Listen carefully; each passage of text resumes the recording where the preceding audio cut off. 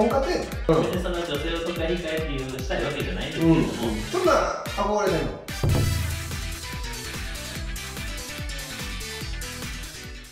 お疲れ。お疲れ。様ですうん、はいどうですか浮かない女性の方まあいやなかなかうまくいかないんで、うん悩んでることが、うんつないつも悩んでるはい自分で言うのもなんですが僕持ってないじゃないですかでもあの、まあ、世の中にはですね、よく言われる、まあ、モテる男性うん。とか、常に痩せてる女性が違う方とかいるじゃないですか、うん。そういう男性になりたいわけじゃないんですけどやっぱり。なりたい。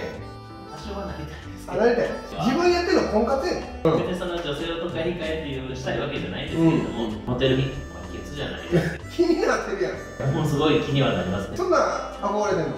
憧れてるわけじゃないんですけど、自分はほんまに一人の女性に大切に思ってはい。発言して幸せにしてあげるっていうのが一番の目的だからな。そう。あでも自分が言ってる気持ちがわかんねえだから学生時代からもそういうのもあったんやろ。まあ若い頃は特には思ってましたねやっぱりあの。若い子の時にモテるのと社会人そうですね。出てな、はい。でましてや自分がもう40代後半や。結婚を考えてのモテるっていうか魅力的な男性と、まあ、それぞれ違うけど、はい。自分が言ったら多分、はい。い、つも女性となえいわばこうセフレの関係になってるような。えまあそこはちょっと極極端かなと思うんですけど、うん。まあ、まあ自分がそうなりたいわけじゃないんですけれども、うん。そこまで女性をその気にさせる、うん。その男性っていうのはやっぱり魅力ある方なんやなとう。ん。自分とまあ真逆の考え方なんで女性がやっぱりそうやってセフレになってでも一緒にいたいと思僕は全くわからないんですよ、うの変な言い方ですけど体だけの関係。でいいと思わせてるのか、うん。まあ、その方が好きっていうことで、こうん。うずっとお付き合いしてるのか。うん。一体何なのかなっていうのは。女性が寂しくて心の隙がある時にうまくこう入り込んだりとかな、はい。これまあ恋愛生活習慣病でいうと慢性ラブアフェア症候群。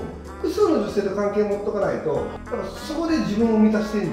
そういう関係を持つことでな、はい。それがいいかどうか分からへんけど、ええ。だから自分と何が違うかって言ったら、はそういうのはまめな連絡であったりとか、寂しい時でも構ってくれてんねや特別感。でもはっきりとした関係で好きやっていうことだけ。だからそういう関係になるわけやだから付き合おうってなってしまうと何またもなるっていうでもそれは曖昧な関係で逆に言うとどっちかがもう本気で好きになってしまったら、ええその関係は終わってしまうような関係何かって距離感があるわけ。でもまた会いたくなるような楽しい関係を。はい、うん、そのひとときひとときをやっぱ楽しませる2人の時間をやっぱ大切にしてるわけよ自分みたいに自分のことか考えてないで、はい。俺女性から聞くのは、はい。もうどう思ってるのか分からへん。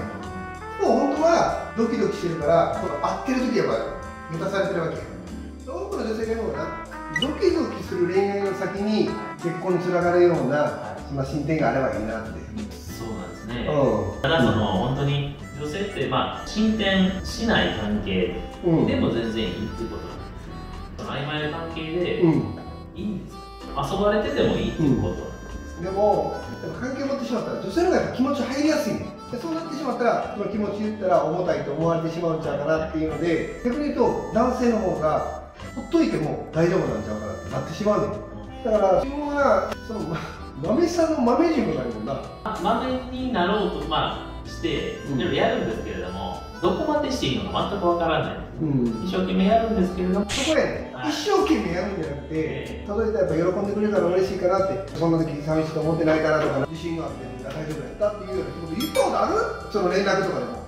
俺はそういうとこやと思うね。一つ一つな、いつもな特別に思ってるよって。なんかそこまでこう連絡する必要もないのかなと思っていや、そこやって。まあそこが大きな差でね。慢性ラフェア症候群にな、今から、まあまあ、自分はまあ全然真逆のところにいるけどな。はい女性が求めてることをやっぱ提供できてることではあるわけやから。そういう目的が体の関係を持つっていうことじゃなく、その自分はそのような女性が求めてることを提供できるような人になっていったら、そうですねいや、うん何を求めてるかがやっぱりわからないうんうん、そんなの一つずつでもそうやん。例えば地震で不安やなと思った時に一つ連絡を打てるとかそんなほんまに一つその連絡を取るだけでも全然違うわけやんか。もうちょっとだから入り込んでみる今真逆の行動を言ったけど、まあそっちが10やったらな自分が0やったら3でもええやん。あれは進歩やね。そうですね、う今の僕からしたら面倒くさがられるぐらいの連絡を取った方がちょうどいい。ちょうどいいぐらいやった。あかんねもうずーっと連絡してた。らゲームみたいな。そういうこと言ってるんですよね、はい。うん。まあ、そこまでせえへんと思うけどちょっとぐらい場面なのや、うん、女性の気持ちを持って場面なのやそうですね、うん、ちょっと満面になるためにちょっともうちょっと他人の気持ちを分かれるようなことをならないといけないですね、うん、いいや、はい、今から豆やな。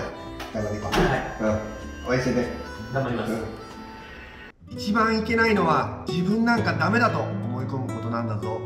アニメ「ドラえもんのび太の言葉ですあなたの楽しい恋愛の進展応援してます。気をつけてお大事に。